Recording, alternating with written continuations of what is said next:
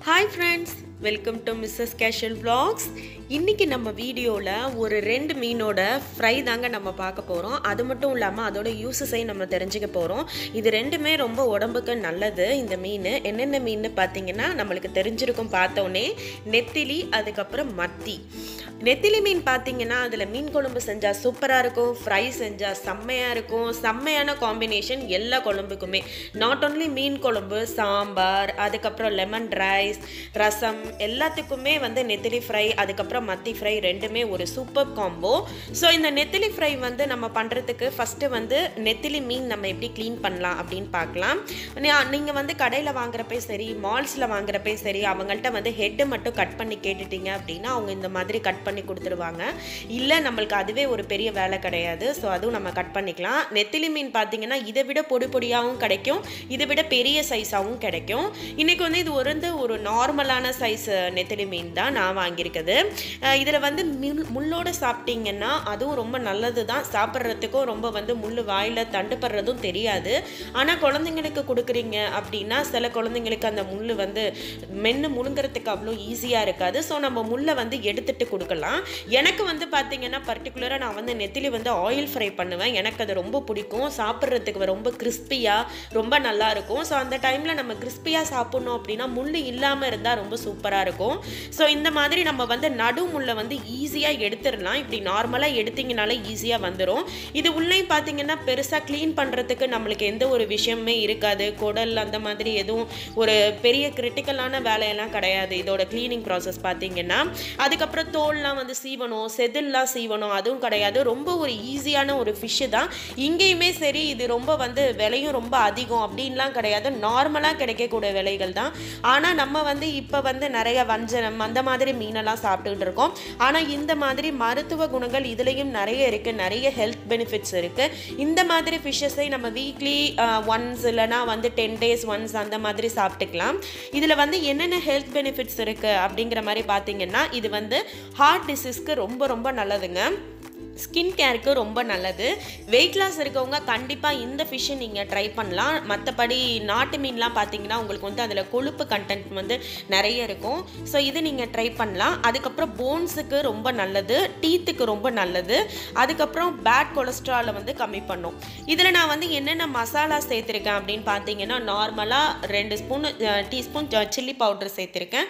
கொஞ்சம் கார்ன்ஃப்ளவர் உப்பு அவ்வளோதாங்க நான் சேர்த்துருக்கேன். லைட்டாக மஞ்சத்தூள் இதுதான் நான் சேர்த்துருக்கிறது இது வந்து நம்ம ஆயில் ஃப்ரை பண்ணுறதுக்கு இஞ்சி பூண்டு பேஸ்ட்டு சேர்க்க நான் சேர்க்க மாட்டேன். ஏன்னா இஞ்சி பூண்டு பேஸ்ட்டு சேர்த்துட்டு அதை ஃப்ரை பண்ணிங்க அப்படின்னா அதுக்கும் சிக்கனுக்கும் வந்து எந்த ஒரு டிஃப்ரென்ஸுமே இருக்காது. ஃபிஷ்ஷுங்கிறத நம்ம ஃபிஷ்ஷாக சாப்பிட்ணும். அதுதான் ரொம்ப டெலிஷியஸான டேஸ்ட் கொடுக்கும். ஸோ இதுதான் வந்து நான் யூ நான் வந்து ஃபாலோ பண்ணுறது நெத்திலி ஃப்ரை வந்து ஆயில் ஃப்ரை பண்ணால் இந்த மசாலா மட்டும்தான் நான் ஃபாலோ பண்ணுவேன். நீங்களும் கண்டிப்பாக இந்த மசாலா ஃபாலோ பண்ணி இந்த ஹெல்த்தியான ஃபிஷ்ஷை நீங்களும் வீட்டில் எடுத்துக்கோங்க உங்கள் குழந்தைங்களுக்கும் செஞ்சு கொடுங்க.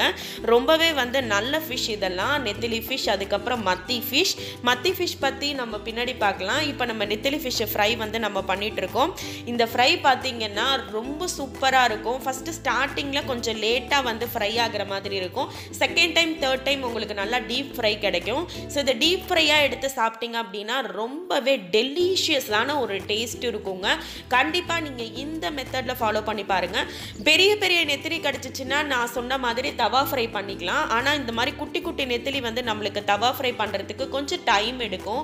ஸோ எமர்ஜென்சியாக வந்து ஒரு நெத்திலி ஃப்ரை வாங்கி டக்குன்னு ஒரு ஃபிஷ் ஃப்ரை பண்ணணும்னா க்ளீனிங் ப்ராசஸும் ரொம்ப ஈஸி ஃப்ரை ப்ராசஸும் ரொம்ப ஈஸி ஸோ இந்த ஈஸியான நெத்திலி ஃபிஷ் நான் சொன்ன இந்த சிம்பிள் மசாலா வச்சு நீங்கள் ட்ரை பண்ணி பார்த்துட்டு உங்களோட ஃபீட்பேக் என் கூட ஷேர் பண்ணிக்கோங்க. இப்போ நெக்ஸ்ட் நம்ம பார்க்க போகிற மீன் என்ன அப்படின்னு பார்த்தீங்கன்னா மத்தி. மத்தி மீன் நம்மளுக்கு கண்டிப்பாக தெரிஞ்சிருக்கும். இதுலேயும் நிறைய ஹெல்த் பெனிஃபிட்ஸ் இருக்குது கேரளா சைட்லாம் பார்த்தீங்கன்னா மத்தி மீன் அதிகமாக எடுத்துக்குவாங்க. இங்கே இருக்கிறவங்களுக்கும் கண்டிப்பாக தெரிஞ்சிருக்கும். இங்கேயும் மத்தி மீனும் நல்லா சீப்பாக தான் கிடைக்கும். இது வந்து உடம்புக்கு ரொம்ப நல்லதும் கூட. அண்ட் தென் பார்த்தீங்கன்னா இதுலேயும் நிறைய ஹெல்த் பெனிஃபிட்ஸ்லாம் இருக்குது ஸ்டார்டிங்கில் வந்து இந்த மீன் சாப்பிட்றவங்களுக்கு கண்டிப்பாக இந்த மீன் பிடிக்காது. அந்த ஸ்மெல்லும் பிடிக்காது. ஆனால் ஹெல்த் பெனிஃபிட்ஸ்க்காக நம்ம கண்டிப்பாக எடுத்துக்கலாம். எனக்கும் பார்த்தீங்கன்னா ஸ்டார்டிங்கில் அந்தளவுக்கு இது பிடிக்காது. ஆனால் சாப்பிட ஆரம்பித்ததுக்கப்புறம் இது என்னோட ரொம்ப ஃபேவரட் ஆயிடுச்சு.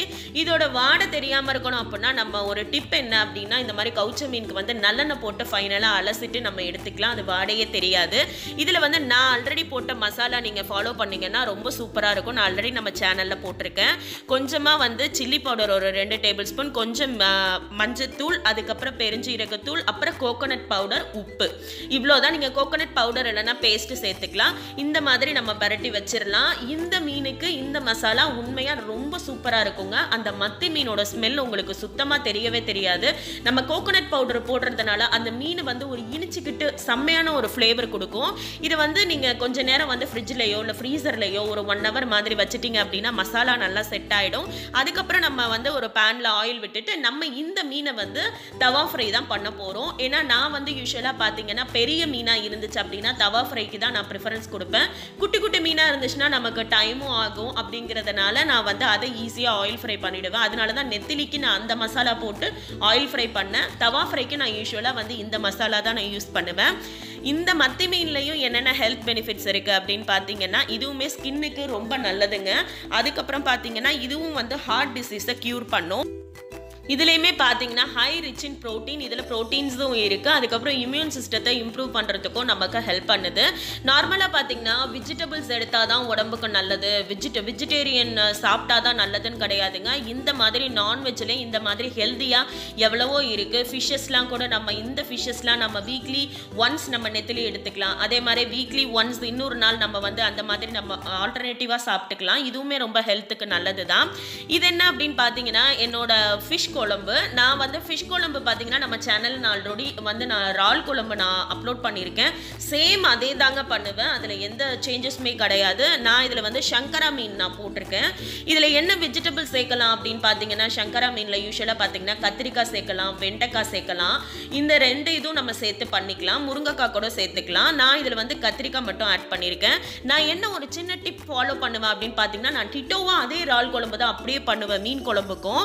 கொஞ்சமாக பார்த்தீங்கன்னா சின்ன வெங்காயம். அதை நல்லா இடித்து அந்த குழம்பு உங்களுக்கு நல்லா கத்த கத்த கத்த கத்தன்னு ஒரு ஸ்டேஜுக்கு வரும் இல்லையா? அப்போ மேலாப்பில் போட்டுருங்க. நம்ம என்ன தான் வந்து சின்ன வெங்காயம் அவ்வளோ யூஸ் பண்ணி நம்ம அந்த குழம்பு பண்ணாலும் ஃபைனலாக இந்த மாதிரி கார்னிஷ் பண்ணிங்கன்னா ரொம்பவே சூப்பரான ஒரு ஃப்ளேவர் கொடுக்குங்க. நல்லா வாசமாகவும் இருக்கும். அந்த அந்த வெங்காயத்தை மேலாப்பில் போட்டுட்டு அப்படியே தட்டு போட்டு மூடிடுங்க எதுவுமே கிண்ட வேணாம். ஃபைனலாக பார்த்தீங்கன்னா நம்ம மீன் குழம்பு சூப்பராக ரெடி ஆகிடுங்க இது என்ன அப்படின்னு பார்த்தீங்கன்னா நம்மளோட தேவி தியாகுசஸ் வந்து நேற்று நம்ம சேனலில் அப்லோட் பண்ண Dora cake Dora pan cake prepare பண்ணி எனக்கு மெயில் சென்ட் பண்ணியிருந்தாங்க ரொம்பவே சூப்பராக இருக்குது சிஸ் அப்புறம் இந்த வீடியோ உங்களுக்கு கண்டிப்பாக பிடிச்சிருக்கும்னு நினைக்கிறேன். இந்த நெத்திலி ஃப்ரை அண்ட் மத்தி ஃப்ரை இந்த ஹெல்த்தியான ரெண்டு ஃபிஷ்ஷையும் நீங்களும் கண்டிப்பாக எடுத்துக்கோங்க உங்கள் வீட்டில் ரொம்ப காஸ்ட்லியான ஃபிஷ்ஷை சாப்பிட்டா தான் நல்லதுன்னு இல்லை. இந்த மாதிரி சீப் அண்ட் பெஸ்ட்டாக கிடைக்கிற ஃபிஷ்ஷஸ்லேயும் நிறைய மருத்துவ குணங்கள்லாம் இருக்குங்க. அது கண்டிப்பாக நம்ம ஹெல்த்துக்கும் தேவை. இந்த வீடியோ உங்களுக்கு பிடிச்சிருந்தா எனக்கு ஒரு பெரிய லைக் கொடுங்க. உங்கள் ஃப்ரெண்ட்ஸுக்கும் ஷேர் பண்ணுங்கள் நம்ம சேனலை சப்ஸ்கிரைப் பண்ண சொல்லுங்கள் நான் நெக்ஸ்ட் இன்ட்ரெஸ்டிங்கான வீடியோவில் நாங்களும் மீட் பண்ணுறேன் அது வரைக்கும் see you take care bye